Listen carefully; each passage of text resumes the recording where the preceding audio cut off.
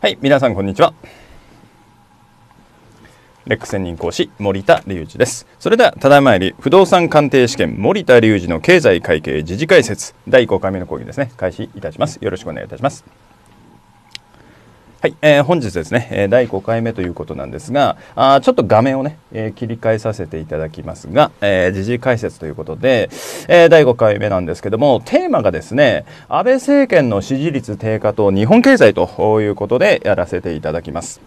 まあ、ここのところですね、安倍政権は、家計問題、えー、それから、まあ、閣僚のですね、えー、失言等でですね、もう支持率が急落中ということでありまして、えー、近々ですね、えーまあ、内閣改造、えー、というのがあるわけなんですけども、えー、それでね挽回できるかどうかということが注目されているわけなんですがあそのね支持率が低下するということがですね日本経済にどういう影響を及ぼすのかなというところをですね、まあ、本日お話できたらなというふうに思っております。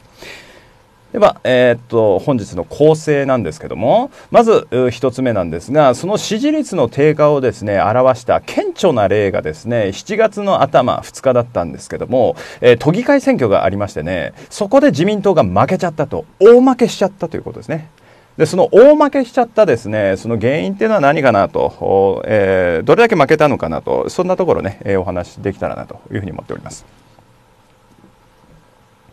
で次にですね、えー、内閣改造というのがね8月3日ですかね、えー、まあやるだろうということなんですけどもそれで支持率の回復はあるのかなっていうことですね。まああのまあ、支持率がここまで下がってきますとですねもう20%台に落ち込んでるんですよね、えー、ある、まあえー、報道機関によればということなんですけども報道機関によってね、えーまあ、その支持率っていうのがこうバラバラなんですけども統計の取り方がちょっと違いますんでね、まあ後でちょっと述べますけども。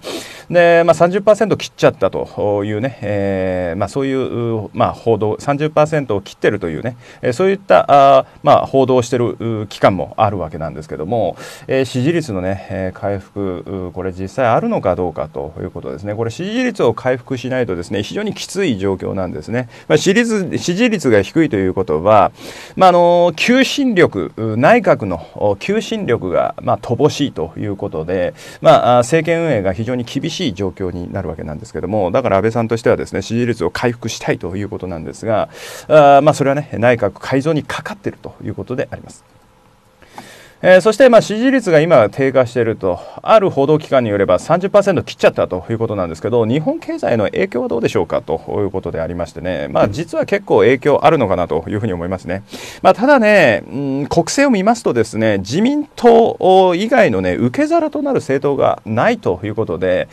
あのそこがまあ、うん、どうかなということですね。だから民進党というね、えー、まあ野党最大野党がですねあの受け皿になり得るのであればですねあのまあ、うん、あのそのね支持率の低下っていうのがもう日本経済のね、えー、日本経済に影響が直結するんですけども支持率低下したとはいえねそのまま安倍さんなんじゃないのというとまあ日本経済の影響はそれほどないのかなということでもありますが、まあ、その辺のところなんかをね、え、後ほどお話しさせていただきます。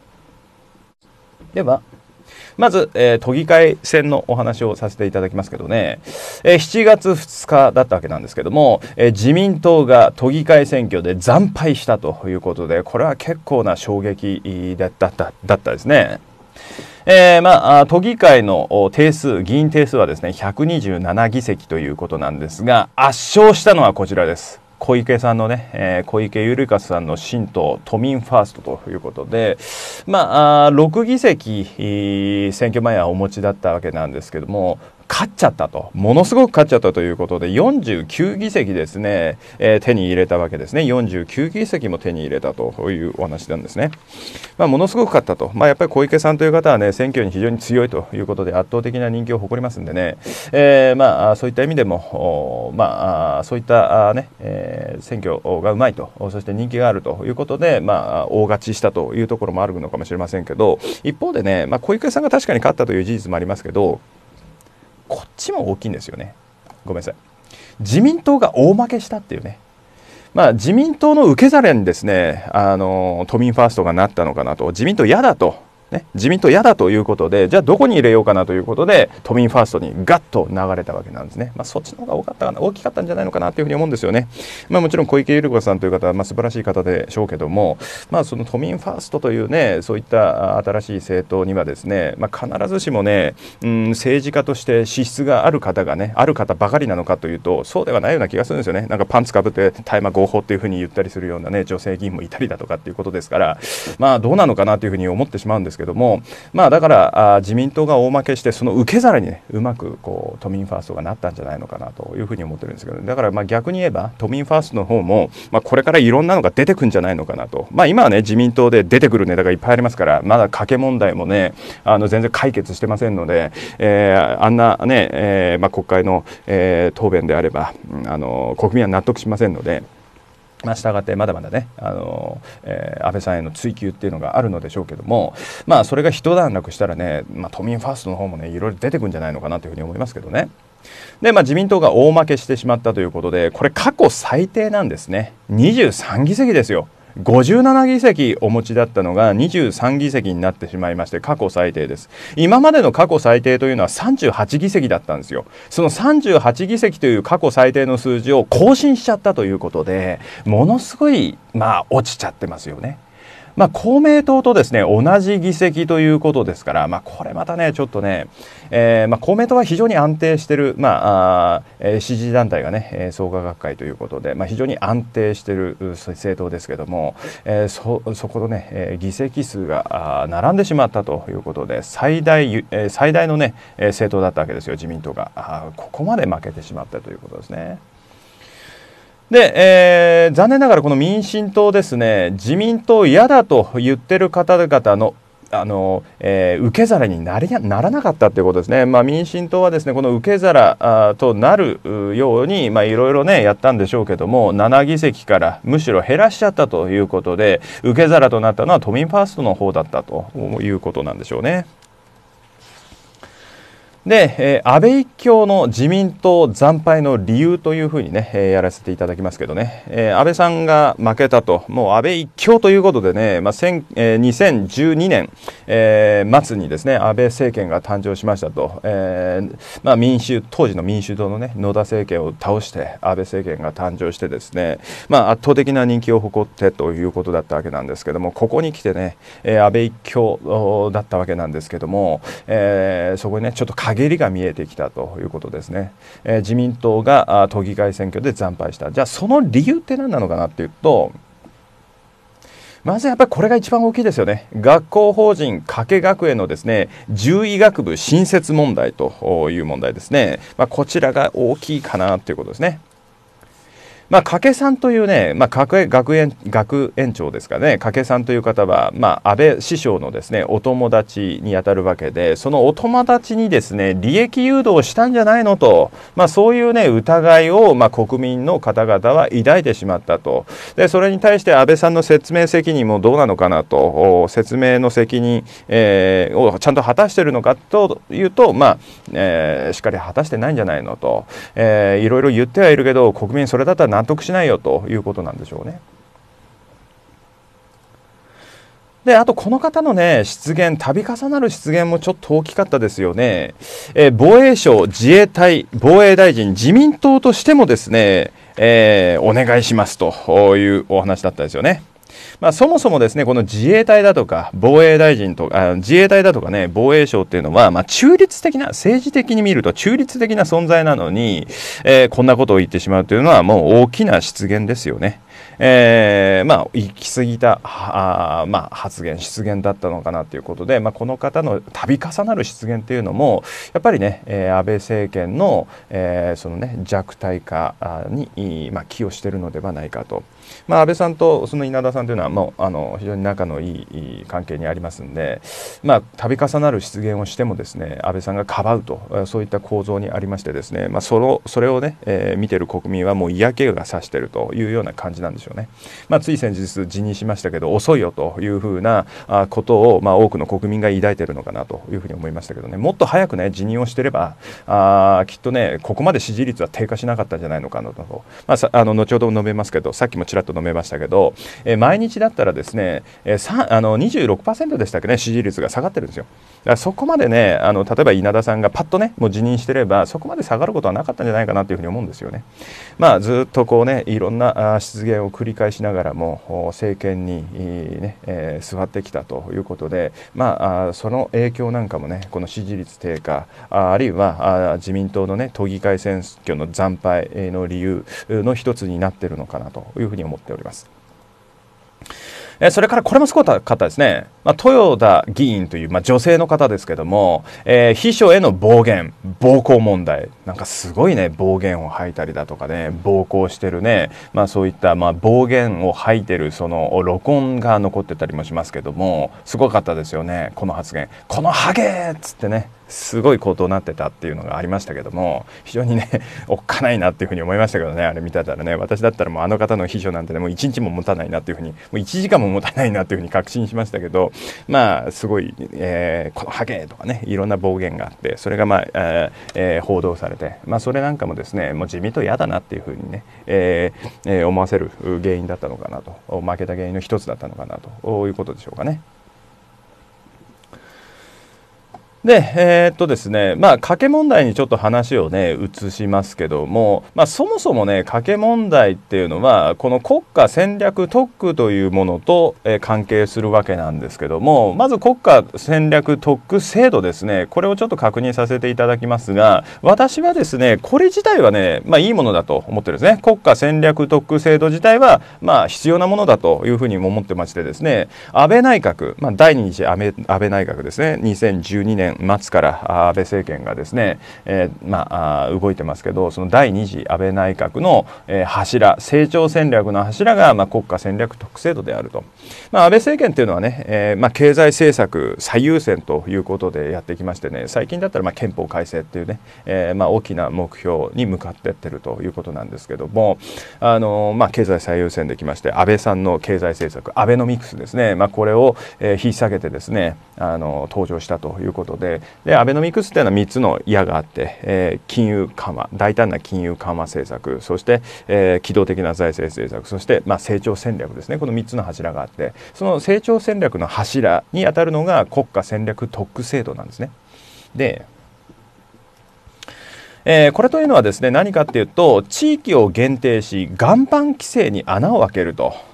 岩盤規制っていうのがあるんですね。えー、まあ、規制がもう岩盤のように硬くなっちゃってですね割れないと叩き割れないという、まあ、そういった規制がありましてですねその岩盤規制にですね地域という限定をかけてですね穴を開けていくというのが国家戦略制、えー、国家戦略、えー、特区制度でありましてですね、まあ、これ自体は非常に、えー、大切なあ、まああ、えー、政策なのかなというふうに思っておりますね。でちょっと掘り下げていきますとえー、利権を持つ省庁ないしは業界団体による岩盤規制というのは日本経済の成長をですね妨げてきたんですよね。まあ、例えば、まあ、今回のですね、まあ、家計学園問題、まあ獣医えー、獣医学部の問題なんですけども長らくですね何十年もですね獣医学部ができてないということはだったわけなんですけどもそれはですねやっぱりその文文科省のですね、えー、その規制、えー、これがなかなかこうね緩まず、えー、そして、えー新しい学部獣医学部を認めなかったっていうことも、えー、一方ではあるのかもしれないということで、まあ、ですからその岩盤規制をこじ開けるというね、えー、そういったあのえー、ものはやっぱり日本にはね、えー、必要なのかなとも一方では私は思ってるんですね。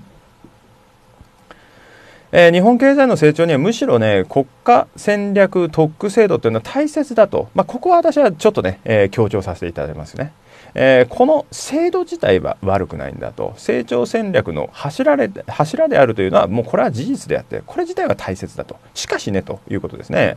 えー、賭け問題ということなんですけども、まあ、先ほども述べましたが安倍首相のですねもう長年の友人なんですね、まあ、ゴルフなんかもしょっちゅうやってるということで、まあ、その賭け師にね利利益誘導してんじゃないかというふうに捉えられちゃってるんですね。で説明責任が安倍首相にはあるわけなんですけどもそれを果たすべきなんですけど曖昧な答弁をされますし、まあ、ちょっと逃げてる感じにも見えちゃってると国民からはですねですから国民の納得は全く得られてないということだったんですね。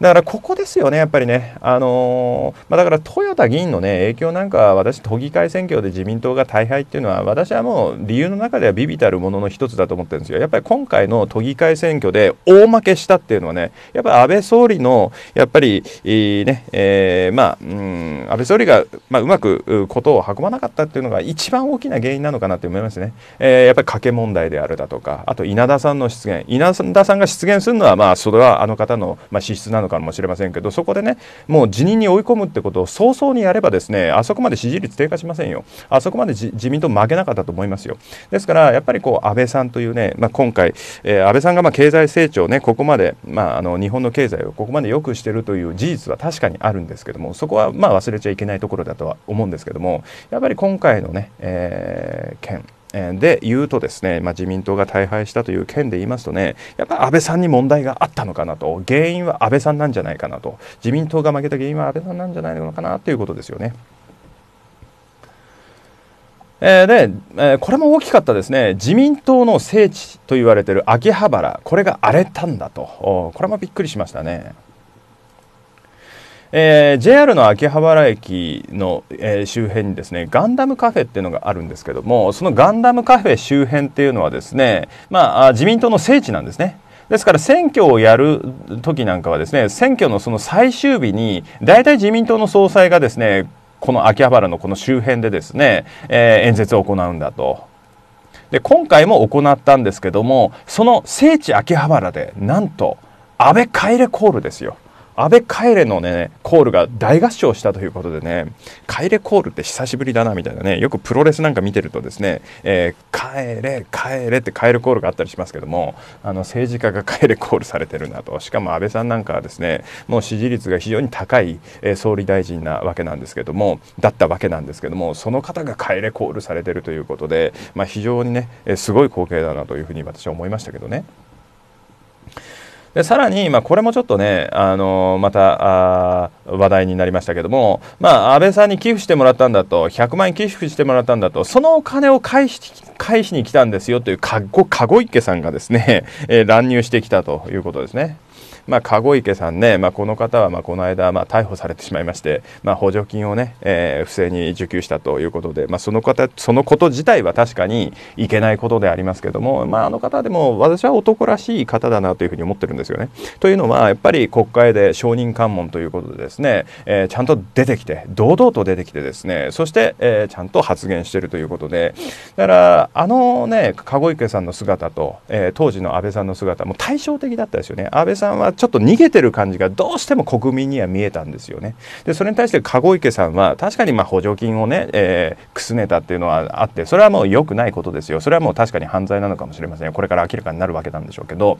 だけどもやっぱりその証人喚問に出てきて、えー、それできっちりと答えるという、まあ、その姿勢ですね。証人喚問っていうのはねあの嘘つくと偽証罪に問われるんですよね。ですからまあかつての証人喚問に問われた人なんかはですねもう手がこんな震えちゃったりするっていう場面もあったりしてですねもう本当にこう、えー、極限の状況なわけなんですけど籠井坂さんはもう堂々とですねあのいろんな国会議員の方々の追及に対してちゃんと答えるというね、えー、あれはあれでも素晴らしい、えー、見事なものだったというふうに思ってるんですけども、えー、まあね、えー、そんな方がこの秋葉原に乱入してまたね、えー、一つあの、えー、荒れたんだと。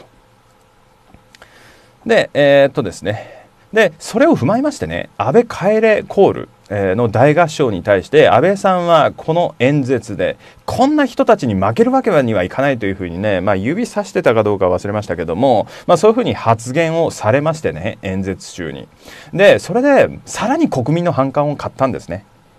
まあ、その安倍、えー、総理大臣帰れコールっていうのはですねやっぱりそれはもうある意味国民の声だったわけなんですよね。でそれに対して、えー、こんな人たちに負けるわけにはいかないっていうふうに切り捨てるということで、まあ、自分に反対する勢力に対してはこんな人っていうふうなね、えー、ことを言ってしまうという、まあ、そういうね、え発言。えー、それに対してですね、まあ、国民はあ、まあ、非常にね、えー、まあ、いい感じをしなかったということなんですよね。まあ、あれなんかもですね自民党大敗のね大敗のね大きな理由なのかなとも思いましたけどね。で、えー、さらにですね、まあ、都議会選が終わりまして、その後ということなんですけど、仙台市長選挙っていうのもありましてね、で、こちらもね、やっぱりちょっと注目度が高かったんですね。仙台というと、まあ、大都市ですから、まあ、そちらでですね、市長選がありましたよということで、こちらもですね、自民党負けちゃいました。民進党、社民党が支持するですね、郡和子氏っていう方がですね、まあ、当選しましたよということで、えー、まあ、自民党はまたしても自民党推薦を、自民党が推薦した方がまたしても落選してしまいましたよと、えー、いうことになりまして、えー、都議選自民党大敗後初の選挙でも、えー、そこでもですね、えー、惨敗という話ですね。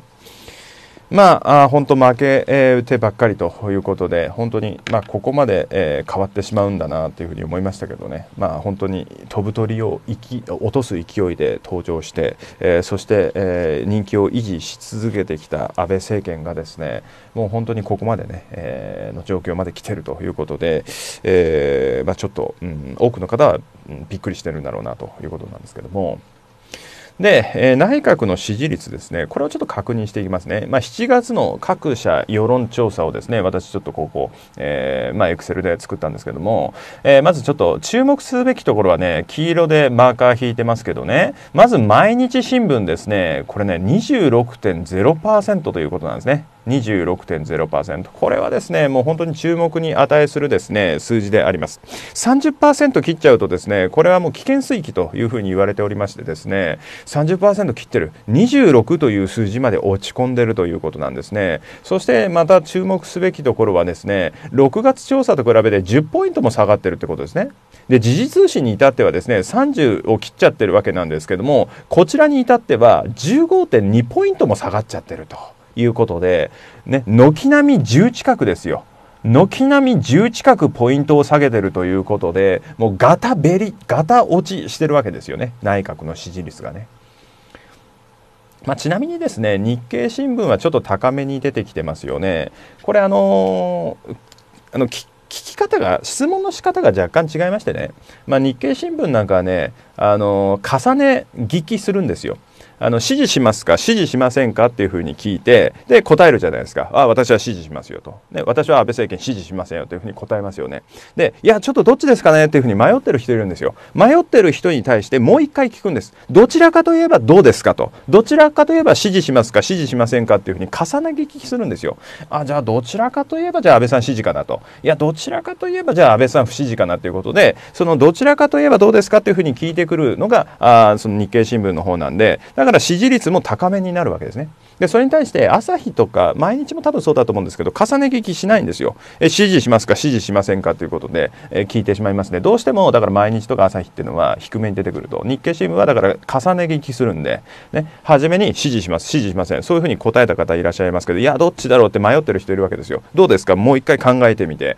ね、どちらかといえばどうですか？というふうにあのまたさらにね聞いてくるということですから、まあ、だからその聞き取りの仕方がちょっと違うということで、まあ、数字があ、ね、かなりこうね、あのー、違ってきてるということですね。だからまあ本当にもう10以上違うじゃないですかあ日経とね毎日ではね。まあ、ちなみに NNN っていうのはね、えー、日本テレビを中心とするネットワークでありますし ANN はまあ朝日テレ朝ですね。テレ朝を中心とするネットワークで FNN はまあ富士のネットワークですね。富士テレビのネットワーク、えー、ということでまああどれもですね、まあ、40%を切ってそして30%を切っちゃってるそういった報道機関もですねあるということで、まあ、これはですねさすがにちょっと安倍さんもね今辛い状況かなと。この内閣支持率の低下っていうのはね求心力の低下になるんですね。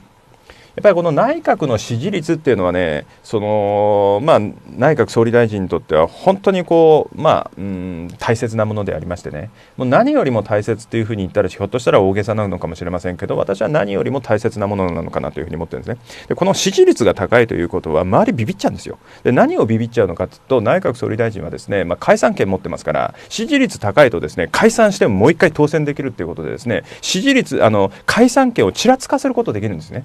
えー、そんななんか俺に従わないんだったら解散するぞっていうねそういった圧力をですね暗黙にかけることができるということでそれをやるのが安倍さんもそれから官房長官の菅さんもうまいんですよ。ですからもう周りのですねあの自民党議員はみんなびっくりビビっちゃってですねそれであんまり批判の声を出さないということですね。解散さ、えー、なんかあの怒らしちゃって解散させちゃったら大変だということで周りのね議員は何も物言えなくなっちゃうということなんですよね。それは支持率の高さがあるからなんですよ。でここまで支持率が下がるとですね毎日なんて26%ですよ。ここまで支持率が下がるとですね今解散したら自民党負けちゃうんですよ。ですから支持率が高い低いとですね、えー、このね安倍批判っていうのがあだんだんねこう出てくる状況が整ってくるということなんですけど支持率高いとね言えないということで。だから自民党がねこの間のあのあれも異様な光景ですよね。あの過去最低のですね議席数ですよ、えー、そこまで、えー、落ち込んでるにもかかわらず都議会選でねそこまで落ち込んでるにもかかわらずですね安倍批判が全然出てこないですからね。しかもあの都議会選のね開票日前開票開票日のね、えー、ちょっと前にはですねあの安倍さんとね、えー、それからあ麻生副大臣それから、えー、菅官房長官それから甘利さんですね、えー、甘利さんその4人がねあのフランス料理のあの三國さんという方がいらっしゃいますけど、えー、元赤坂にね三國さんのお店があるんですけどもそこでね飯食ってたということですからでそれで惨敗じゃないですか。だから、本当はね、あんな、ね、勝ってればいいですよ。ね。勝ってれば別にね自民党がその都議会選で勝てばですね別に三國シェフの店でですねその開票の時に別に飯食ってようが何しようがまあいいのかもしれませんけどもう歴史的な大敗じゃないですか。ではっきり言ってその理由は安倍総理にあるわけなんですよ。ね。えー、賭け問題それから稲田大臣を更迭しないっていうのもやっぱ安倍総理の任命責任ですよね、えー、そういうのにもあると思いますんでだから安倍さんの、えー、がかなりの理由でですね負けてるということだと思うんですけども、えー、それに対する批判も出てこないとそれはやっぱりあの支持率が高いからなかなか自民党の中でも言えないということがあったのかなというふうに思うんですよね。まあ、だから、あのえー、なかなかね支持率が高いと思うことを言えないと。石破さんはね確か言ってます言ってたかもしれないですねあの何飯なんて食ってんだみたいなねそんなことをなんかこう、えー、言ってたというふうに伝えられてますけどもまあもっと多くの自民党の議員からねそういった声が出てきてもいいと思うんですけどやっぱりこうね、えー、人気のある総理っていうのは周りはちょっと萎縮しちゃってると。だけども最近の調査ではこれだけ支持率下がってきてますからそろそろね批判的な声が出てくるのかなというような感じになってますよねそろそろね。で、えー、まあ20%台はね危険水域ですね30%を切っちゃうと危険というふうに言われておりましてね、まあ、実際に第一次安倍内閣安倍政権ですね、まあ、2000年代の中頃ですね第一次安倍内閣っていうのがありましたけどもあの時なんかもね30%切っちゃってで1ヶ月持たないんですよ。えー、20%内になって1ヶ月持たずに1ヶ月後には辞任しちゃってるっていうね、えー、そういったことだったですから、まあ、今ね安倍さんの頭の中にはひょっとしたらこの第一次安倍内閣のですねその時の状況、えー、30%切っちゃって1ヶ月後に辞任したっていうのがひょっとしたらね頭によぎってるのかもしれないかなとまあもちろんねあの時の安倍さんと今の安倍さんも圧倒的に違いますけどやっぱり本当にアベノミクスというですね経済政策を引っ提げて総理大臣になってですねそれはそれでね私は評価してるんですよ。あのだから評価するべきことと、えー、あるいは今回の件で言うとねやっぱりもっと対応があったのかなっていうことを両方あるわけですよ。だから全否定はやっぱりするべきじゃなくてなんか報道を見てますとねなんかこう、えー、賭け問題があるからもう全部ダメみたいなねそういうふうななんかこう、えー、イメージがね、えー、なんかちょっと、うん、あるのかもしれませんけども、まあ、アベノミクス自体は私は悪いものではないと思うんですよね、えー、現に株価もですね民進党、えー、当時の民主党政権ですね、えー、民主党政権にの時と比べてものすごく上げてるわけですよ。もう2万円台ですよ。まああの時はね確かに民主党の時はね、えー、リーマンショックがあって、えー、リーマンショックの後にね政権取ってますから非常に、えー、しんどい時ですしさらに、えー、東日本大震災というのもありましたから、まあ、しんどい時に政権取ってるということですからまあ確かにね株価が低いのは仕方のないことなのかもしれませんけども、まあ、やっぱり株価も上げたと。そして円安にさせてですね、まあ、日本の企業のね、えー、業績を高めているということもありますし、えー、失業率とかももう歴史的に低い水準ですよ、えー、私大学でも教えておりますけどねやっぱり大学生の就職内定率は早まってますし良くなってますよね、えー、なのでやっぱりねあの経済は良くなってるなというのはあ私は肌で実感しておりましてそこは確かに認めるべきなんですよ。だけどねということですよね。だですから、まあ、そういった意味で言うとね昔の安倍政権と今の安倍政権とは全く違うということだと私は思ってるんですけども、まあ、今回はやっぱりねちょっと対応どうだったのかなというふうにね、まあ、多くの国民は思ってるその結果がこの支持率の低さだと思うんですよね。では、えー、その次ですね。えー、内閣改造が支持率を上昇させるのかということでありましてね、まあ、8月の3日だったと思いますけども、内閣改造すると、まあ、人事一新ですよね、するわけなんですけども、えー、それで支持率が上昇するのかどうか、上昇させようというふうにね、安倍さんは今考えて、まあ、必死にいろいろね、えー、お考えになっていることだろうというふうに思うんですけども、えー、実はこの内閣改造というのはですね、有力な政権浮揚策になってくるんですね。まあ、実際ですね具体例を一つ挙げますとですね小泉総理大臣という、まあ、非常に人気のある、まあ、総理大臣がいらっしゃいましたけどもサプライズ人事、えー、小泉さんはうまくてですね、まあ、例えば、えー、当時3回しか当選をしてないですね安倍晋三さんですね、まあ、現在の内閣総理大臣ですけど幹事長に抜擢したということなんですね。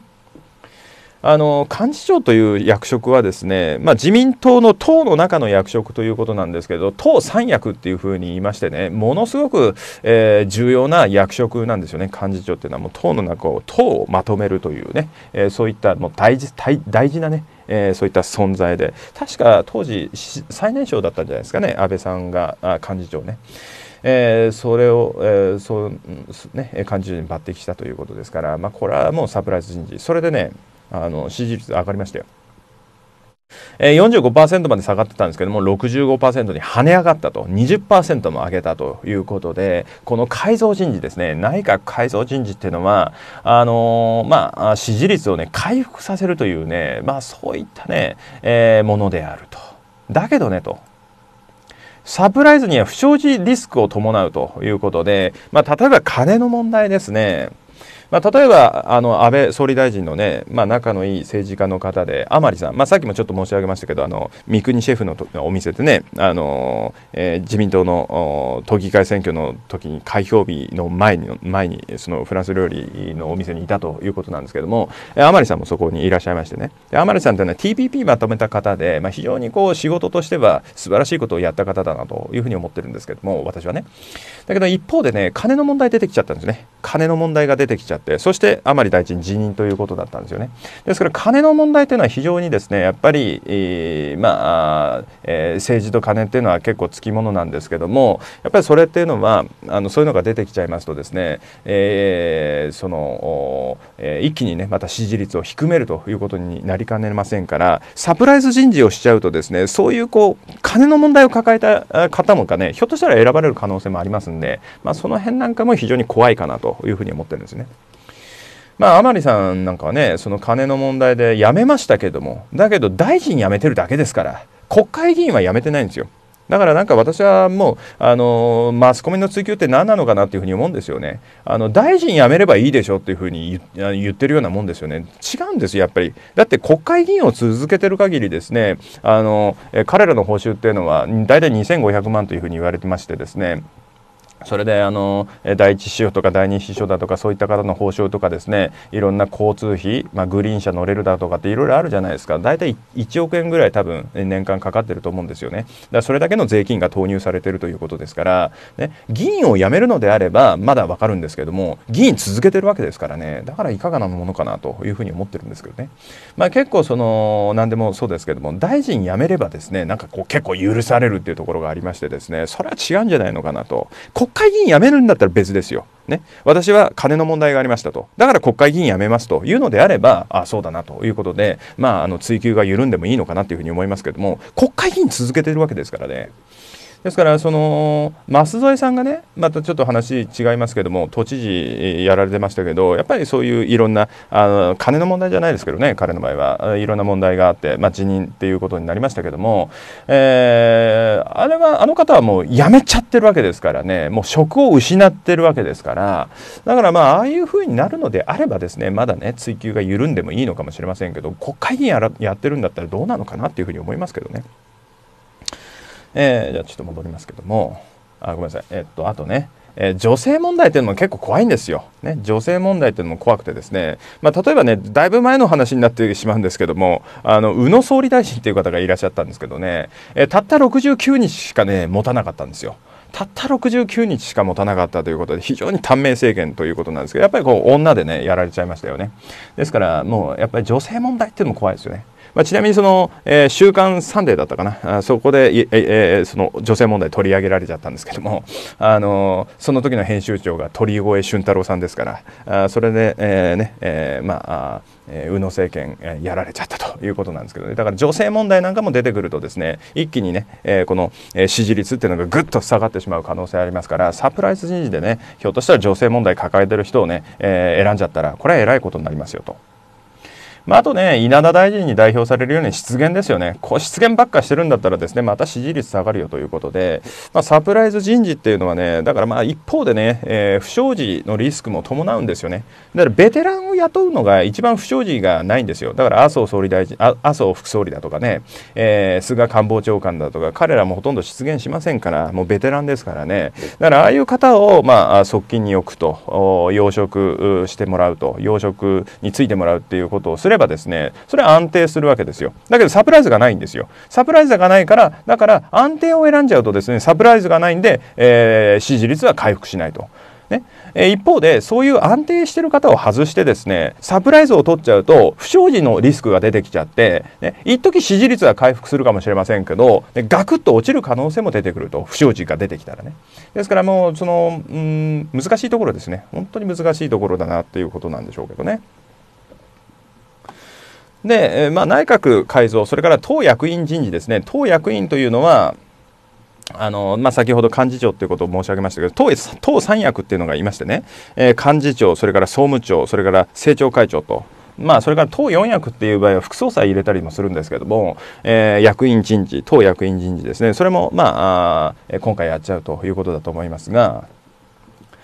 えー、まずですね麻生副総理財務大臣ですね、まあ、この方は留任だろうということを言われてるんですね、まあ、麻生さんはですねもうやっぱり安定感がありますよね、まあ、失言等も、まあ、ほとんどないかなと。もう本当ベテラン中のベテランで総理経験者ですからね。やっぱりそういった意味では、まあ、安倍総理は、まあ、信頼を置いてるということですしやっぱり安倍総理と生い立ちも似てますよね。麻生総理の、えー、おじいさんは吉田茂元首相ですし、えー、安倍総理のね、えー、おじいさんはね岸信介というね、えー、岸さんという、まあ、元総理ですから。で元、えー、どちらもお坊ちゃんということでね麻生さんは学習院大学学習院ずっと下からで、えー、安倍さんはね政経政経をずっと、えーえーまあ、上下から上に行かれた方ですから、まあ、そういった意味では、うん、どっちも坊ちゃんということで、まあ、年はだいぶ違いますけども、まあ、非常にこうちょっと、まあ、似通ったあそういったね、えーまあ、状況で育たれたんでしょうね。だからまあ結構その、うん、そういった意味では仲がいいということでもありますし安定感もあるということで、まあ、麻生さんは、まあ、おそらく留任だろうと。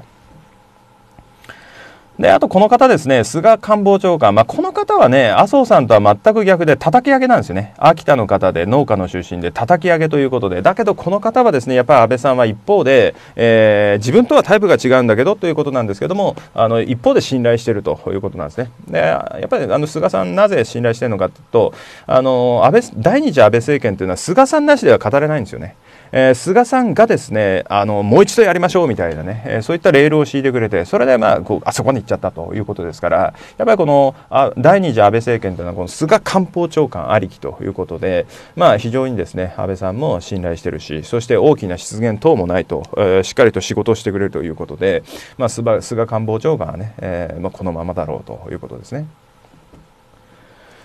でそれからまあ二階幹事長というふうに、えー、二階幹事長のお話ですけども、まあ、この方ですね、この方もね、やっぱりね、政治手腕がありますよね。あの自民党は党の中でね連続総裁、えー、参戦禁止っていうのがルールとしてあったんですよ。で安倍さんはもう今度参戦禁止っていうふうになったら選ばれないということなんですけどそのルールをねこの二階さんが変えたということで参戦も OK にしたということでだから安倍さん今度のね総裁選でまたあの総裁に選ばれることができるようになったということで、まあ、そういうこともね幹事長になってすぐねこうあの実行するということで、まあ、その手腕がやっぱあるのかなと、えー、政治手腕ってていうんですかね、まあ、そういうのをお持ちだし、まあ、あとやっぱりあのパイプをお持ちなんですよね。まあ、例えば小池さん、まあ、小池百合子さんともパイプがあるということですよね。あの小池さんというのはいろんな政党を渡り歩いた方なんですけど二階さんも結構そうで。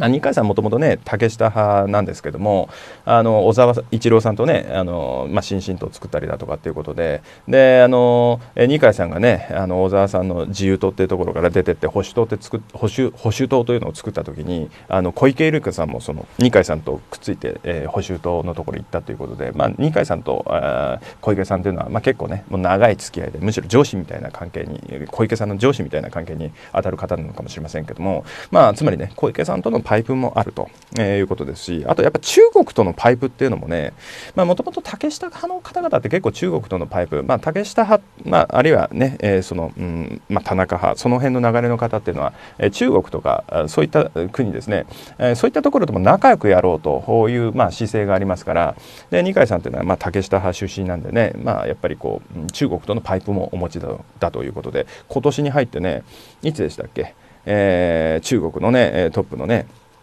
えー、方とあの会談というのもありましたからやっぱりその、まあ、中国とのパイプもお持ちということであのやっぱりそういった意味ではね二階さんというのは幹事長としてね、えー、これからも残ってほしいということで、まあ、留任がほぼ確定していると。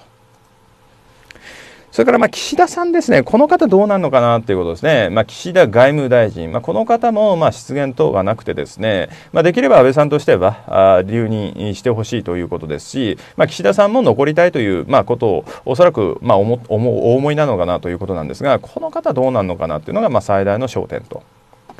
でそれからまあ公明党ですね、公明党の方っていうのは、まあ、必ずと言っていいほど国交大臣に就くわけなんですけども、石井国交大臣ですね、これ留年、留任ということで、まあ、あの国交大臣石井さんということで、えーまあ、やっぱり今公明党のとの、ね、自民党の関係というのはちょっとぎくしゃくしているところがありましてね、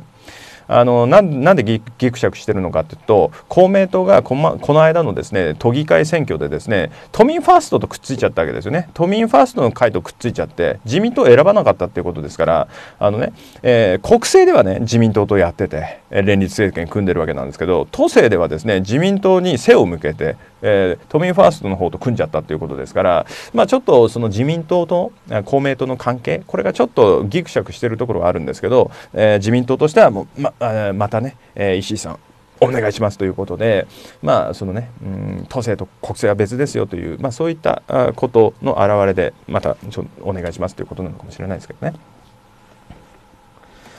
えー、それからまあサプライズ人事ですね、まあ、どんな方が出てくるとサプライズかなということなんですけどもまずこの方ですねやっぱり、えー、橋本徹元、えー、大阪あ、えー府知事ないしは大阪市長ですよね、まあ、橋本さんはねやっぱり非常に人気のある方ですから、えー、橋本さんのような方がですね、まあ、内閣に入るということであればですねもう一気に私ね40%ぐらいまで支持率回復するんじゃないかなというふうに思ってるんですよ。毎日のさっきのね支持率でいうと26%まで落ち込んだということですけど橋本さんが入るとですね、まあ、これはまたねちょっとね内閣の、えー、また一つの顔ができたということで一気にまた支持率がねガッと上がるのかなというふうに思いますけど、まあ、ただそれでも40%ぐらいなのかなというふうに思いますけどね。分かりませんけどね、まあ、ただね橋本さんが入るかどうかというとちょっと微妙なところありますよね。ここまで支持率が下がってる安倍政権に入る意味があるのかなというふうにね。橋本さんも頭のいい方ですから、えー、どうなのかなというふうに考えて入らないというのもあるのかもしれませんけども。ただ安倍さんとですね橋本さんというのは非常に仲のいい方でもありまして仲のいい関係でもありましてね、まあ、去年のねクリスマスなんか一緒に会合して一緒にこう飯食ってっていうのがあったんですよ。ですからまあそのしかもね憲法改正の方では結構あの、えー考え方が一致しているということですし、まあ、そういった意味では可能性としてはねあありうるかなということなんですけどもまあ今回はちょっと難しいのかなっていう意見も多いかなというふうに思いますけどねだから安倍さんがね橋本さんをねこの内閣に引っ張り込むことができたらですねこれはねまたちょっと変わるのかなというふうに思いますね逆に言えばね橋本さんレベルのねサプライズを起こさないとですねあの支持率回復って厳しいと思うんですよね。本当に支持率はもうここまで下がっちゃったらなかなかもう回復難しいんじゃないかなというふうに思ってるんですけどね。だから橋本さんが入ればまたちょっと変わって流れが変わってくるのかなというふうに思いますね。だからここまでのね支持率の低下っていうことはねもう本当に安倍安倍政権厳しくなってきましてね。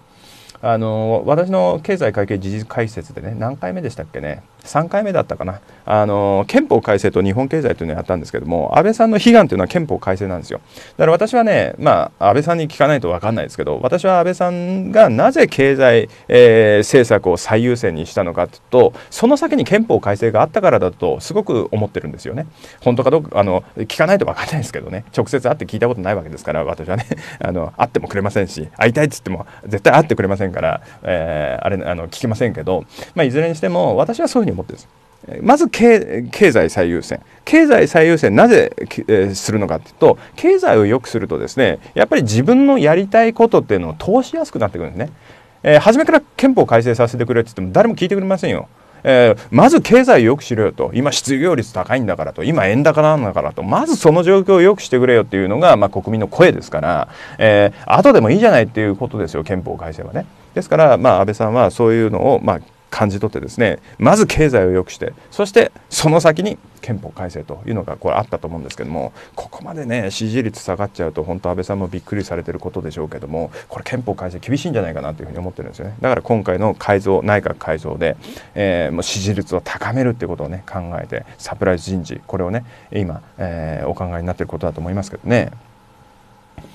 それからまあ小泉進次郎さんですね、まあ、この方もね非常に人気のある方なんですけども、まあ、この方はねどっちかっていうと考え方でいうと石破さんに近いんですよね。まああの安倍さんの、まあ、ポスト安倍と安倍さんの次に総理大臣になるのは誰だったら、まあ、あの候補としては石破さんが上がってくるわけなんですけどもどっちかっていうとちょっと石破さんに近くてですねその小泉さんはねだから安倍さんが総裁選に出た時にね石破さんと戦ったわけなんですけども、えー、石破さんに票を入れてますよ小泉進次郎さんはね。で、まあ、小泉さんは親父さん譲りっていうんですかね、まあ、親父さんも構造改革っていうね郵政、えー、郵政民営化っていうのをやられたあその素晴らしい総理大臣のなんですけども、えー、小泉進次郎さんもですねあの構造改革っていうのを言ってましてだからアベノミクスは一定の評価をしてるんでしょうけどむしろ構造改革でしょっていうことでどっちかっていうとちょっと石破さんに近いかなというところでありましてね。だから安倍総理大臣からしたら小泉進次郎さんを後継者とは思ってないんですよねだから後継者と思ってない人を内閣に入れてそれでそっちの人気がぐっと出てきちゃったら後継者じゃないやつを育ててやってるっていうことでこれまたどうなのかなっていうことでまあ、うん、入れたくないだけど、えー、入れるとえあの支持率がアップするかなっていうことでだからそこは今すごくね、えー、熟考中なのかなと。小泉進次郎さんがね入ればねやっぱりあの支持率はアップするだろうと5ポイントぐらいアップする可能性ありますよね。えー、だけども後継者じゃないんですよ。安倍さんの後継者はね稲田さんだったりするわけですよね、えー、だからその後継者じゃない人を入れるのかどうかというところであるんですよね。で次ですね。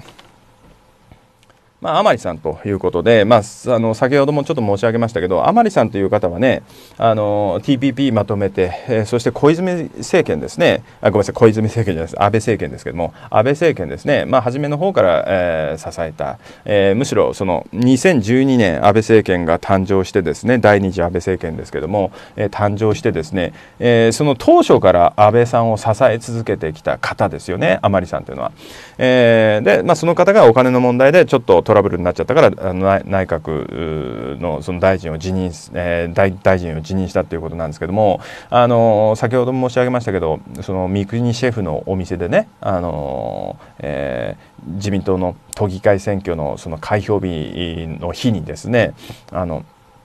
一緒に4人で飯食ってたということですから、まあ、やっぱ甘利さんっていう方にはすごく信頼、えーえー、甘利さんとの、ね、信頼関係っていうのはやっぱすごくあるんだろうなっていうふうに思いましたね。ですから甘利さんっていう方をやっぱり内閣に、えー、あるポストにつけたいのかなとも思うんですけどもただねこれはもう諸刃の剣ですよ。甘利さん入れちゃったらですねこれはもうむしろ支持率下がりますよ。はっきり言って。でどうして下がるのかっていうとあの選挙してねあの金の問題が出てきて選挙をして金の問題があるけど甘利さんが当選してっていうんだったらあの国民のその判断の上で、えー、代議士になってるわけなんですけど金の問題が出て以降選挙してないわけなんですから甘利さんね。ですからその、えー、選挙後に甘利さんがね、えー、大臣になるっていうんだったらまだあ選挙の経て、え国会議員になってそして大臣になるということであのプロセスとしてはいいわけなんですけども金の問題の後選挙してないわけですから国民の審判下してないそういった人に対して大臣にするっていうのはそういった人を大臣にする再び大臣にするっていうのはやっぱり国民のそのね、あの気持ちとしてはどうなのかなっていうとノーだろうというふうに思うんですよね。選挙をしたから選んでくれよということだと思いますね。まあ、甘利さんをね、まあ、入れたいか入れたくないか分かりませんけども、まあ、もし入れたらね、この逆に支持率が低下するのかなというふうに思いますね。まあ、サプライズ人事ではありますけど、非常にサプライズですよ、甘利さんが入ってきたら。サプライズなんですけども、だけどこの方入れたら逆に支持率は下がるかなと。で、えー、まあおそらく入らないでしょうけど、ポスト安倍のね、もう本当に代表格、石破さん、まあ、最近ちょろちょろ、えー、安倍さんをね、うん、いろいろ、うんまあ、批判してたりもしますけども、まあ、それももっともだと思いますけどね、えー、まあ、そういうね、ポスト安倍との代表格ですから、まあ、この方はおそらく入らないと思いますけど、安倍さんがね、あの引っ張り込んだらこれまたサプライズということで、まあ、石破さんが入ってきたらねやっぱり支持率はまたアップするのかなというふうに思いますけどね。まあおそらくないかなというふうに思いますけどね。まあ、だから実現可能性があるって言ったらやっぱりどうなんですかね、まあ、ちょっとこの辺まあ分かんないですけどこの辺が入ったらやっぱりねこのね橋本さん小泉さんこの辺が入ったらちょっとやっぱ支持率がぐっと上がる可能性はあるのかなというふうに思いますね。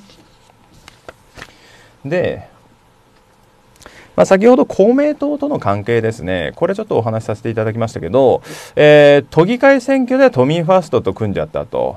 で、えーまあ、自民党としてはですね公明党の、ね、票を失ったってこともやっぱり惨敗への拍車をかけたのかなというふうに私は思ってるんですよね。やっぱり公明党の票っていうのはねやっぱりもう基盤がしっかりとしてますから、まあ、その票を失ったっていうのもやっぱり自民党大敗のね原因の一つというふうに見ても間違いないだろうというふうに思っております。で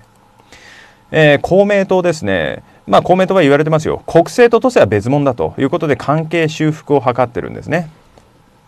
まあ、やっぱり、あの公明党といたしましてもね、あの例えば、うん、政権交代があるのであれば、ねえー、例えば民進党が政権を取る可能性があるのであればね、あの関係修復を図らずにもっとね安倍政権を追及するってこともやるかもしれませんけどまだまだおそらくねやっぱりね自民党政権が続くかなというふうに思うんですよね。やっぱり民進党のですねあのこの間の都議会選挙のですね、えー、得票ねひどかったですよねさっき確認しましたけど5議席ですからね、えー、7議席から5議席に都議会の議席を落としてるわけですから、まあ、民進党がうん国政では受け皿にならないってことだと思うんですよね。自民党の受け皿にね。自民反自民の人がこれだけ増えてるわけなんですけど受け皿になかなかならないということでやっぱりこうね、えー、政権は自民党のままなのかなっていうことだと思うんですよね。それを考えますと公明党としてもですね自民党と仲良くした方が得かなっていうことですよね。で最近だったらね自民党はね、まあ、特に菅さんなんかは維新の会とちょっとね接近してますから、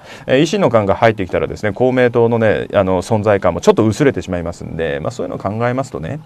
えーまあ、関係修復に公明党としても、えー、そっちの方を選びたいということですし、まあ、自民党としてもね先ほど申し上げましたけどやっぱりこれで例えば国政、えー、選挙をねするならばやっぱ公明票っていうのはどうしても欲しいわけですよね。ですから、まあ、あの自民党としても、まあ、先ほど申し上げましたけど国交大臣のポストをもう、えー、早々とですねあの留任ということで、えーまあ、ポストを、ね、用意しているということでしょうし、まあ、自民党としても公明党としてもやっぱりうんなこれれからも仲良くしようねということなんでしょうね国政ではね。ただねここなんですよ。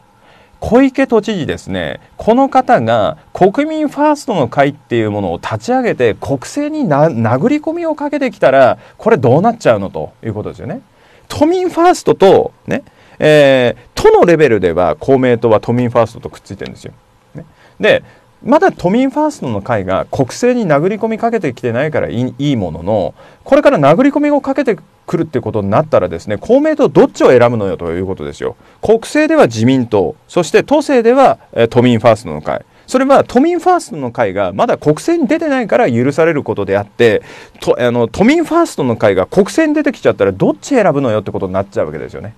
ですからまあこの小池さんの動向っていうのはねこれからちょっと注目するべきところなのかなというふうに思いますけどねまあちょっとまだやっぱり国民ファーストの会国政には殴り込みかけてこないんじゃないのかなとは思うんですけどももしこういう動きがですね実現しだしたらですねまた荒れるかなというふうに思いますね。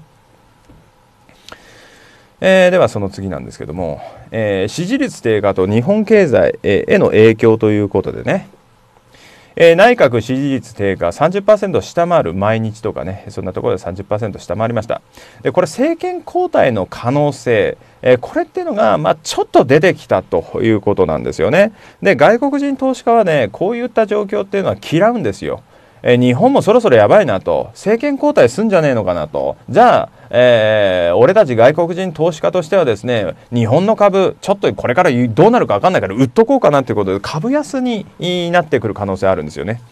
だから支持率が下がったというデータが出た時はちょっと株安になってるんですよ。それはやっぱりあの外国人投資家としてはですねえー、支持率低下っていうのはやっぱり政治がね、えー、リスクを持っちゃってる。そういった状況が生まれたっていうことでそういった状況を嫌うわけなんですよね。やっぱ政治リスクっていうのは結構ありますんでね。なのでまあそういった状況になると、まあ、株安になるかなと。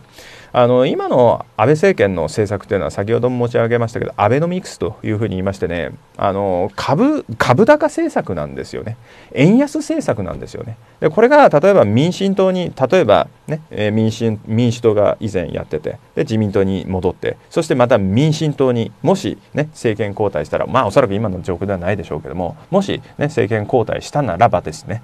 えー、また民主民進党であれば円高株安路線なんじゃないの？っていうことでもうもしそうなったらもう日本のその株式市場ねもう売りがもうものすごく入りますよ。そして円高になっちゃいますよね。でしかもね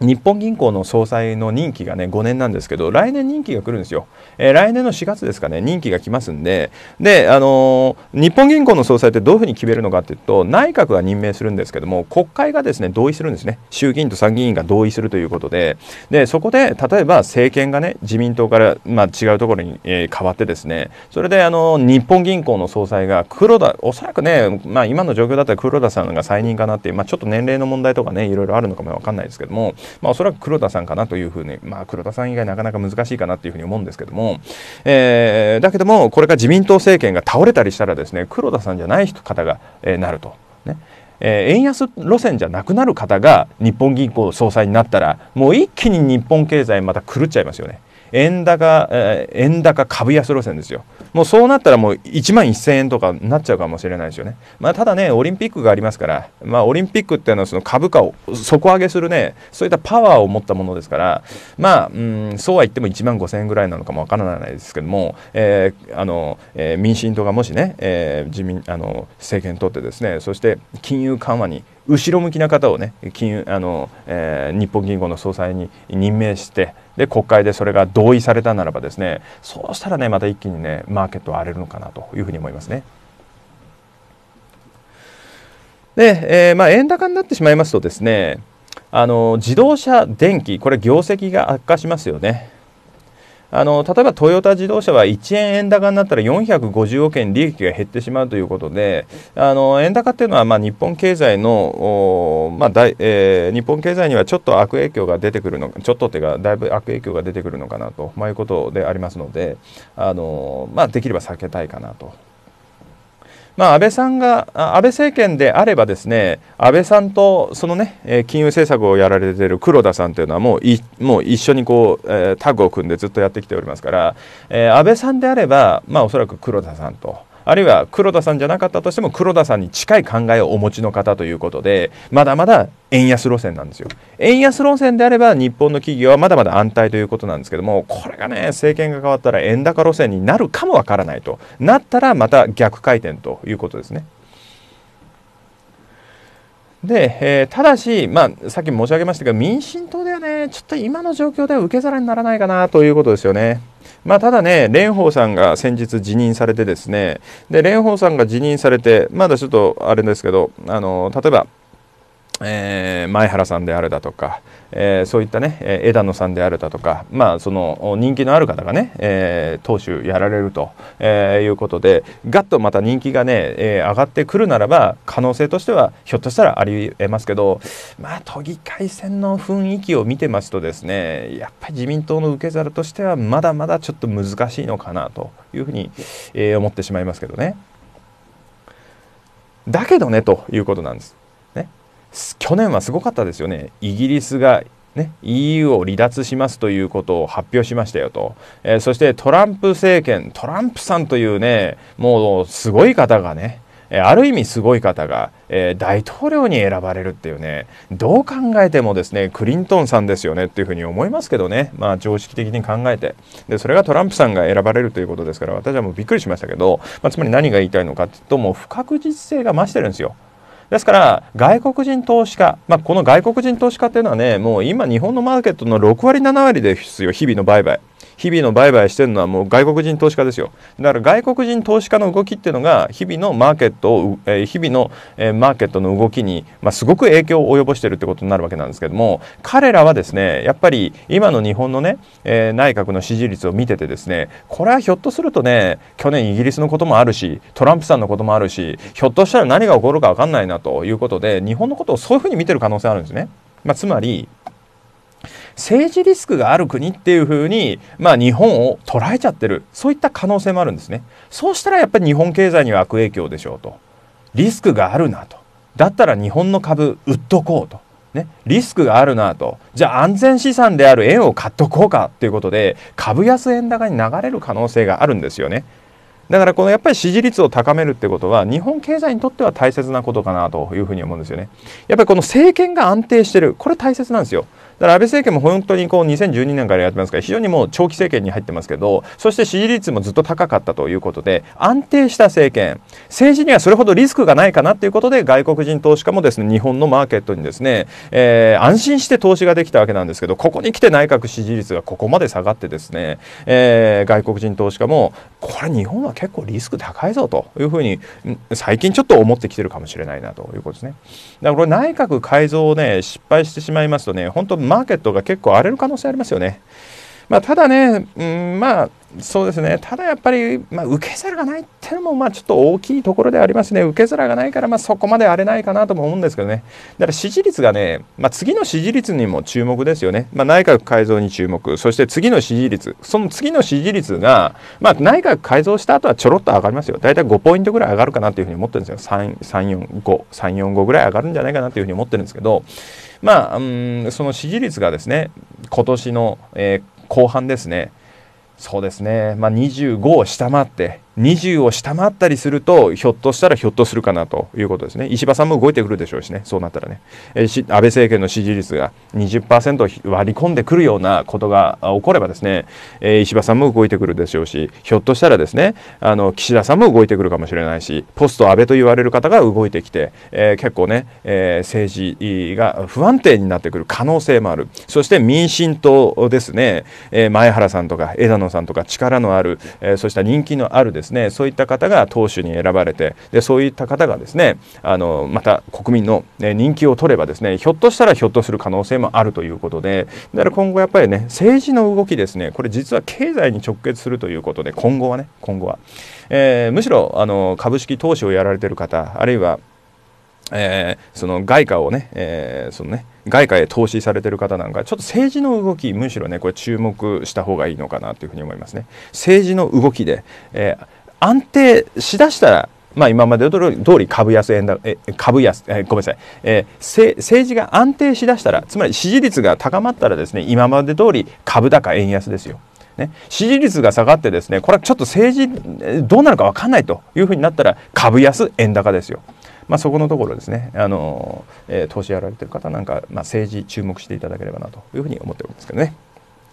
えー、それではですね、えー、第回第5回目の講義ですね、えー、以上とさせていただきます。どうも皆さんお疲れ様でした。